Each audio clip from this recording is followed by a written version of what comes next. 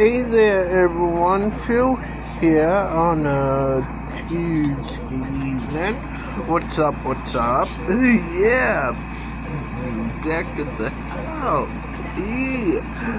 How's everybody doing tonight? Um, uh, I'm gonna get to the weather in just a little bit. But first, here's some things you need to know. Yeah on uh, Tuesday. Um, okay. Um, starting with um, this. Um, Auburn City Cancer agrees on a research center and a Mexican restaurant opens up on Sabattus Street in Lewiston. And those are your headlines that I have for you for right now. I'm Phil. In the meantime, you're up to date. Um, and now the weather. Tomorrow, 83 for the high, 65 for the low. Uh, uh, Thursday the 4th would be um, 83 for the high, 56 for the low.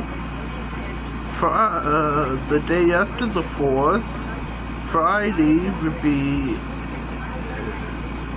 85 for the high, 6, 65 for the low. Sunday would be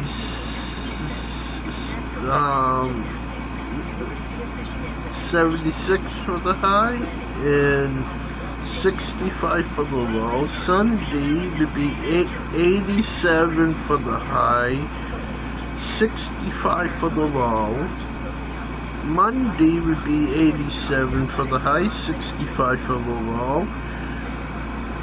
Tuesday, a week from today, Tuesday would be 83 for the high, 66 for the low and um, that ends your brother and your, your um, news uh, right now with me, Phil. And now uh, here's your sports update. And sports would be um, the um, the Red Sox will be playing a little bit at 6:40 p.m. tonight, and I believe that's all. And what I have in, for sports. In the meantime, you are up to date with me, Phil. So, all right. Um. Um, this, this is for me, Phil. I'll be on sometime soon. Peace. Bye.